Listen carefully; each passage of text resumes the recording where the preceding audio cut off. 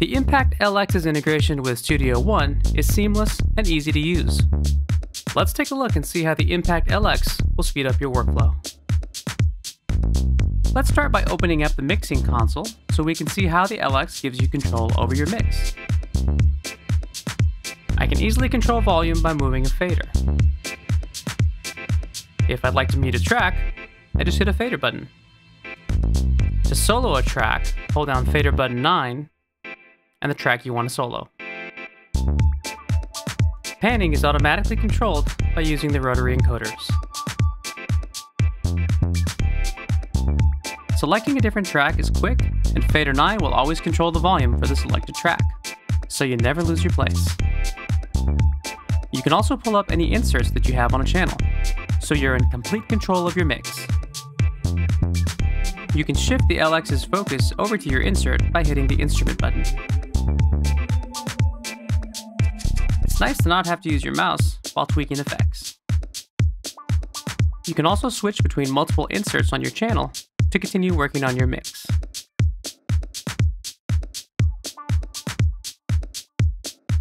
And just as easily as we brought up our insert, we can hide it as well.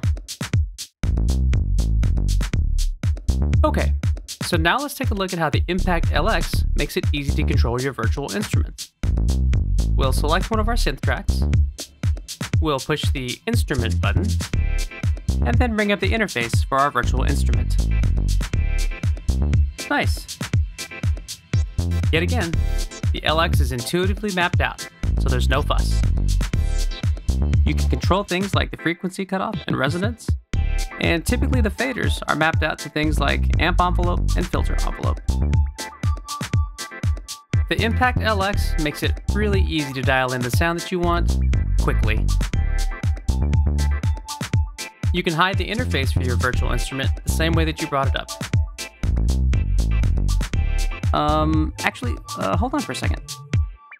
I kind of really like how I was playing with the filter earlier on this instrument. So let's go back up and set a loop and record some automation. I can set my loop starting point and then come right over here and set the endpoint for my loop. Great. Now we're in a loop between bars 17 and 25. So like I said, I kind of want to play with that filter a little bit and record automation. So let's bring up our virtual instrument and we'll go into record mode.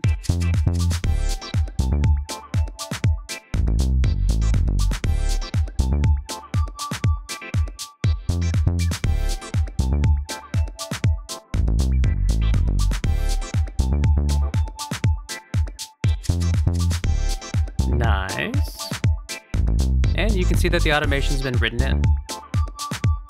If for some reason I didn't get it right, it's easy enough to go back and undo. The Impact LX gives you hands-on control over Studio One. You'll be navigating through projects like a pro.